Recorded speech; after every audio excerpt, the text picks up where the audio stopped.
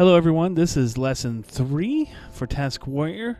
In this lesson, we're going to cover linking tasks together. So tasks are dependent on each other, and then setting projects. So projects are like bigger buckets. So let's get into it. First thing we're going to do is do a quick task list, see what tasks we have available. Task one, we can see we have buy milk.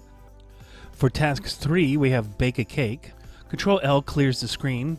We'll put task three back up on the screen again. To give task 3 a high priority, we're going to do task 3 modify priority colon H and hit enter.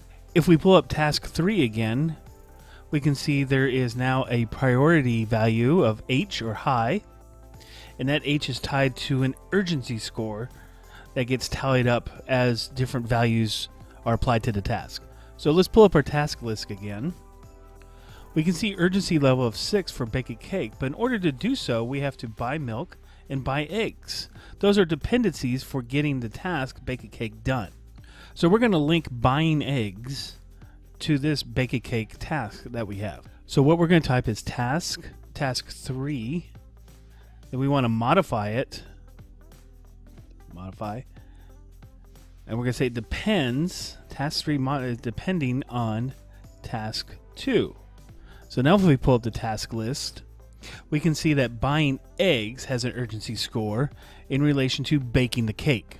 So let's apply the same principle to buying milk. We do task 3 modify depends on 1.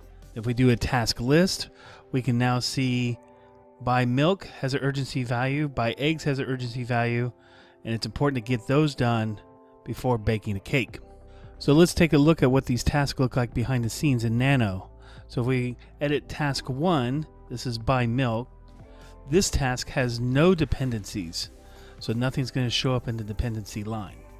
But if we open up task number 3, we can scroll down to the dependency lines and there you can see that this task, bake a cake, depends on tasks 2 and tasks 1 to be completed.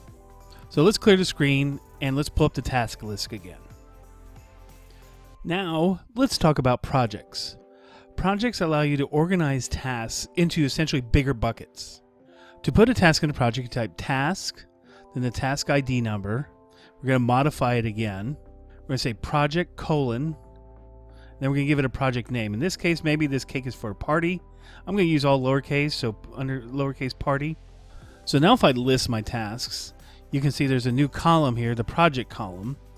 We can also see there's a priority H that we gave it earlier, and it also has a D for dependency. Now let's put buy milk and buy eggs into its own project. So we're going to do task one, and we're also going to do space two. So we're going to do task one, two simultaneously, modify, project, colon, and this one's going to be grocery shopping. Maybe we need to put together a grocery list. We hit enter. We've modified both tasks at the same time.